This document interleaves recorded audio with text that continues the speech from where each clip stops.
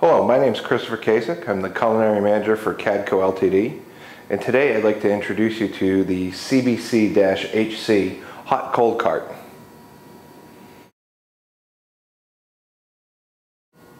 The Cadco CBC-HC was developed with both the healthcare and hospitality markets in mind.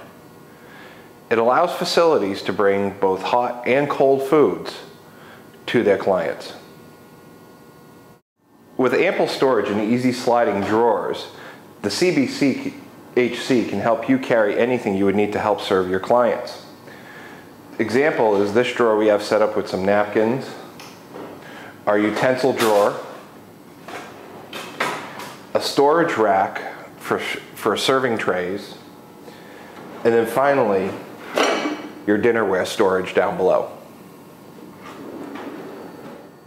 On the right side of the cart, we have a utility drawer for serving utensil storage,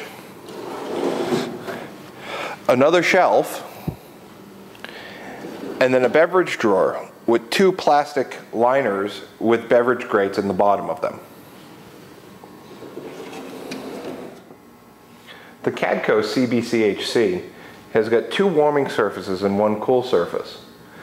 The two warming surfaces are actually controlled by individual thermostats and an on-off switch. The cold surface is controlled by a Cambro cam chiller, which you can place right in a freezer. Frozen, this will stay cool for up to eight hours. Once you have your cart loaded up, you can wheel it to any one of your food service areas.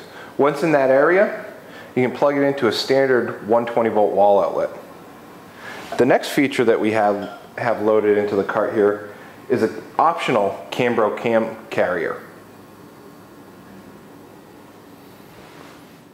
When you're ready to serve your clients, what you could do is pull out the top utility drawer here, place a tray directly on top of it, and plate your food. Next, come over to the beverage drawer, grab a few cold beverages out, and you're ready to serve.